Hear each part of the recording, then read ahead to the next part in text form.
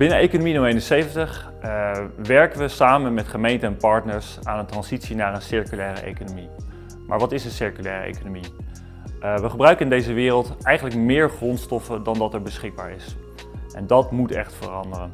Maar dat kunnen we niet alleen. Daarvoor hebben we iedereen uh, binnen de regio hebben we nodig om dat samen met elkaar te doen en samen elkaar daarin te versterken. De afgelopen twee jaar hebben we op het onderwerp circulaire bouw samengewerkt in de regio. Dat hebben we gedaan in het Cirkelstadverband Regio 071. Daarin hebben we een aantal leuke voorbeeldprojecten gedaan. Bijvoorbeeld het project Simon Smitweg in Leiderdorp.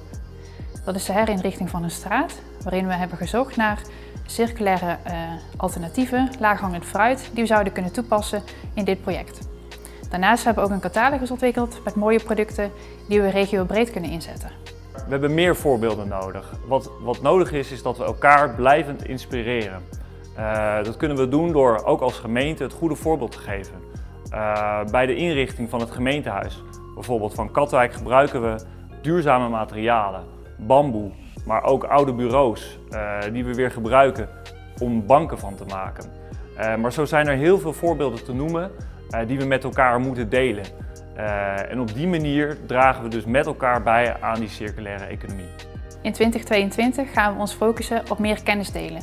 Dat doen we ook binnen het Circusstad Regio 071 verband, uh, waarin we elkaar meer gaan opzoeken en meer laten zien wat de goede voorbeelden zijn in de diverse gemeenten. Heb jij een leuk circulair voorbeeld of wil je een project starten? Meld je dan bij ons.